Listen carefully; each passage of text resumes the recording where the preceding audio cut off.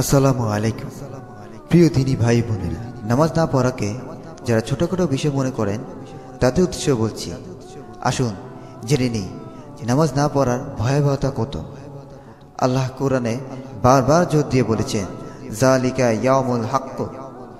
এই দিন নিশ্চিত আসবে। যারা নামাজ পড়বে না, তাদের মাথা পাথর দিয়ে আঘাত করে চূর্ণ বিচূর্ণ করে দেওয়া হবে। পরবর্তীতে ফরজ নামাজ ত্যাগ করার আগে একটু চিন্তা করবেন আমি কি আল্লাহ ও তার রাসুলের কথা বিশ্বাস করি? যদি বিশ্বাস করে থাকেন তাহলে আপনি ফরজ নামাজ কোনো মতোই ত্যাগ করতে পারবেন না। আর যদি ত্যাগ করেন, তাহলে আপনি কি আল্লাহর কথা বিশ্বাস করলেন? একটু চিন্তা করে দেখুন। এই আয়াতে আসলে কাদের কথা বলা হয়েছে? আল্লাহ তালা বলেন, আর মানুষের মধ্যে এমন কিছু লোক রয়েছে যারা বলে, আমরা আল্লাহ ও পরকালে প্রতি ইমান এনেছি। অথচ আদৌ তারা ইমানদার নয়। এই আয়াতের যাদের কথা বলা হয়েছে, এর আসলে মুনাফেক। মুখে দাবি করে, আমরা ইমান এনেছি। অথচ তারা আল্লাহর প্রতি ইমান নেই। একবার এক স্বপ্নে রসুল সাল্লা আলাইসাল্লামকে কয়েকটি পাপের শাস্তি দেখানো হয়। নবী রসুলদের সব স্বপ্ন ওহি, অর্থাৎ আল্লাহ পক্ষ থেকে হয়ে থাকে। একদিন সকালে রসুল সাল্লাহ আলাইসাল্লাম বলেন, আজ রাতে আমার কাছে দুজন আগন্তুক এসেছিল। তারা আমাকে বলল, আমাদের সাথে চলো। আমি তাদের সাথে গেলাম। আমরা এমন এক লোকের কাছে পৌঁছালাম যে চিত হয়ে শুয়েছিল। অপর এক ব্যক্তি পাথর নিয়ে তার সামনে দাঁড়িয়ে আছে। সে পাথর দিয়ে শুয়ে থাকা ব্যক্তির মাথায় আঘাত করছে এবং থেতলে দিচ্ছে। যখন সে পাথর নিক্ষেপ করছে, তা গড়িয়ে অন্যত্র চলে যাচ্ছে। লোকটি গিয়ে পাথরটি পুনরায় তুলে নিচ্ছে এবং তা নিয়ে ফিরে আসার সাথে সাথে লোকটির মাথা পুনরায় পূর্বের মতো ভালো হয়ে যাচ্ছে। সে আবার লোকটির কাছে ফিরে আসছে এবং তাকে পূর্বের মতো শাস্তি দিচ্ছে।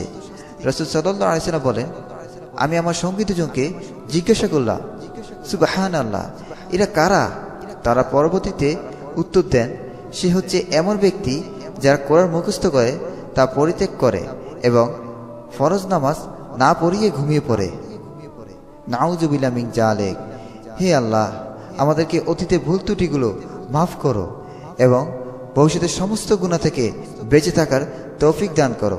আমিন। নামাজ ওয়াক্ত অনুযায়ী পড়তেই হবে। নিজের মন মতো সময় পড়লে গ্রহণযোগ্য হবে না। আল্লাহ তালা বলেন, নিশ্চয় নামাজ মুমিনদের জন্য সুনির্দিষ্ট সময়ের জন্য ফরজ করা হয়েছে। আবার ওয়াক্ত অনুযায়ী না পড়লেও শাস্তি আছে। আল্লাহ তালা বলেন, অতএব দুর্ভোগ ওই সমস্ত নামাজিদের, যারা নিজেদের নামাজের ওপর উদাসীন, লক্ষণীয় বিষয়, এখানে উদাসীন বলতে যারা নামাজ পড়ে কিন্তু দেরি করে পড়ে, তাদেরকে বোঝানো হয়েছে। যে ব্যক্তি নামাজ পড়ে কিন্তু দেরি করে পড়ে, তাকে যদি জাহান নামে প্রবেশ করতে হয়, তাহলে যে ব্যক্তি নামাজ পড়ে না, তার শাস্তি কেমন হবে? দিন আমি কিছু বেনামাজির শাস্তি কথা উল্লেখ করছি। এক নম্বর হলো বেনামাজি অমুসলিম। সে হিন্দু। সৌদি আরবে রাষ্ট্রীয়ভাবে এই আইন পাশ করা আছে। অত্র পৃথিবীর শাসনকর্তা হজরত অমর রদুল্লাহ আনহ, তিনি বলেন, যার কোনো সালাদ নেই, ইসলামে তার কোনো অংশে নেই, একজন মুমিনের সবচেয়ে বড় গুণ হলো সে পারফেক্ট মুসলিম।